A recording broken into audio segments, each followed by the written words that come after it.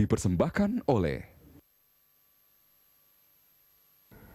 Pemirsa, Anda masih dalam acara spesial dialog dengan Dirut PT Bank Tabung Negara.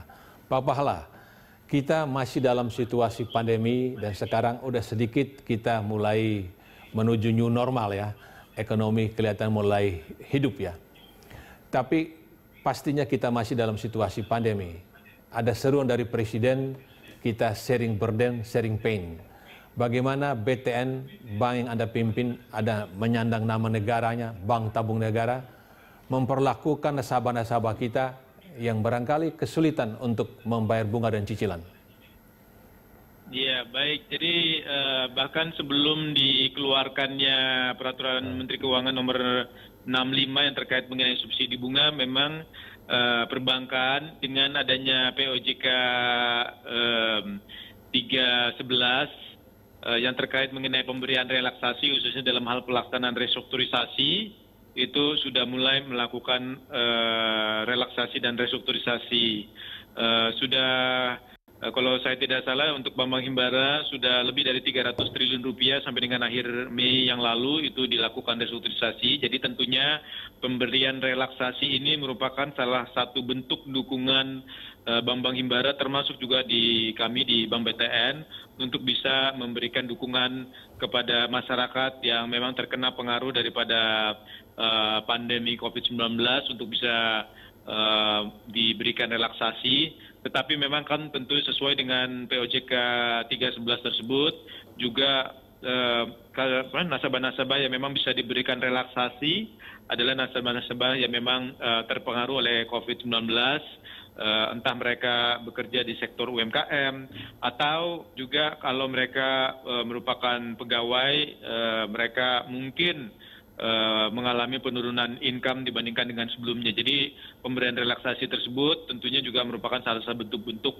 dukungan kami untuk bisa memastikan bahwa memang mereka bisa menjalankan kegiatan dan juga uh, apa namanya mengurangi beban cicilan utang Eh, selain daripada bunga yang diberikan keringanan untuk bisa diperlonggar khususnya dalam 6 sampai dengan 12 bulan ke depan, kita juga melihat untuk bisa melakukan penjadwalan uh, ulang uh, pokok utang yang dimiliki oleh para debitur-debitur kami. Jadi uh, apa namanya pengurangan sementara untuk uh, jumlah beban bunga yang harus dibayarkan kepada perbankan khususnya dalam hal ini kepada Bank Himbara dan juga Bank BTN dalam hal ini dan juga pembayaran cicilannya nah, dua-duanya ini memang kita pertimbangkan kalau misalnya memang debitur itu mengalami uh, gangguan yang terkait dengan pandemi COVID-19 tersebut. Jadi restrukturisasi sesuai PJK nomor 11 2020 berjalan dengan baik Pak di BTN?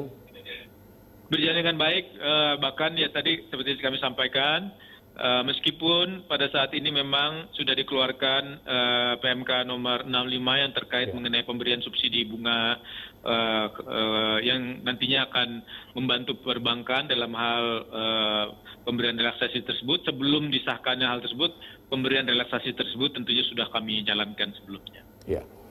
Uh, bagaimana kondisi real BTN saat ini Pak? Kalau kita lihat uh, rasio-rasio uh, keuangan yang paling banyak disoroti, bagaimana non-performing loan, bagaimana capital adequacy ratio, dan kemudian ya, jadi, uh, LDR. Iya, kalau untuk uh, rasio-rasio keuangan kami di Bank BTN, saya rasa dalam kondisi saat ini masih sangat baik ya. Eh, beberapa rasio yang selalu dipantau oleh pihak regulator OJK khususnya dalam hal ini adalah terkait mengenai likuiditas uh, itu juga uh, selalu di atas 100% bahkan di atas 130%. Hmm. Kemudian untuk ALDPK kami uh, atau alat liquid dibandingkan dengan dana pihak ketiga itu juga terus kami jaga di atas 10%. Uh, total posisi penempatan dana yang kami miliki yang kita merupakan liquid juga kami terus jaga dan selalu uh, adanya posisinya di atas 14 sampai dengan 15 triliun bahkan pada saat-saat uh, tertentu itu mencapai di atas 22 triliun rupiah. Uh, jadi ini tentunya merupakan yang paling penting dalam hal ini di saat kondisi ekonomi memang terpengaruh kan bagaimana kita terus bisa menjaga kondisi likuiditas yang sehat dan baik selain daripada itu, kualitas aktiva produktif kita juga terus terjaga. Di awal tahun ini, Bank BTN meningkatkan uh, rasio untuk pencadangan kami uh, yang sebelumnya mungkin rasio pencadangan terhadap NPL itu adanya di kisaran sekitar 50 sampai dengan 55 persen.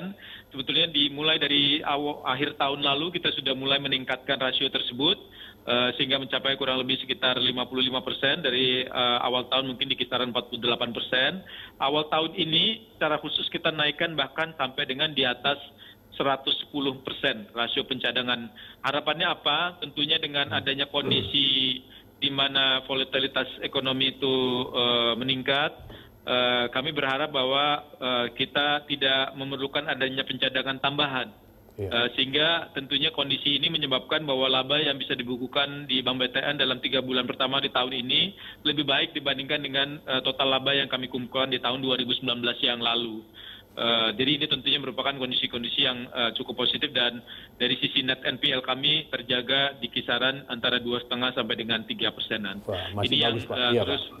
jadi kondisi kami tentunya masih uh, sangat baik dan kita terus jaga dan juga memastikan bahwa ke depannya ya. dan tadi seperti yang ya. saya sampaikan kami beruntung bahwa sebelum terjadi pandemi COVID-19 pemerintah sudah melakukan peningkatan pencadangan uh, yang cukup signifikan sehingga dari sisi uh, laba di tahun ini dan juga permodalan kita yeah. insya Allah akan cukup baik untuk bisa beroperasi secara uh, aman uh, pada masa-masa uh, sulit pandemi COVID-19 ini. Baik Pak Bala, pertanyaan terakhir Pak, imbauan dirut PT BTN TBK kepada para nasabah dan investor Pak. Baik, Silakan, terima kasih. Uh, jadi uh, himbauan kami tentunya tetap percaya Eh, karena kami kan di Bank BTN ini merupakan uh, salah satu bank himbara, bank milik pemerintah, kondisi keuangan kita baik, kondisi uh, apa namanya governance kita juga baik. Di awal tahun ini kita juga mendapatkan uh, award uh, sebagai bank dengan penerapan good governance yang baik di Indonesia. Uh, terus uh, menjadi nasabah kami. Kami di Bank BTN juga terus berkomitmen untuk bisa menyalurkan kredit uh, di tahun ini.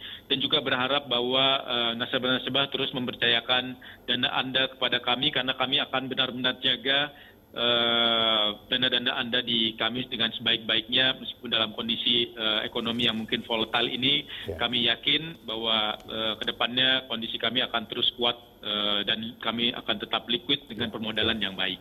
Ya. Terima kasih Pak Pahala. Pemirsa, demikian spesial dialog bersama Bank BTN. Atas nama seluruh kerabat yang bertugas saya Primus Mulu undur diri. Terima kasih. Sampai jumpa.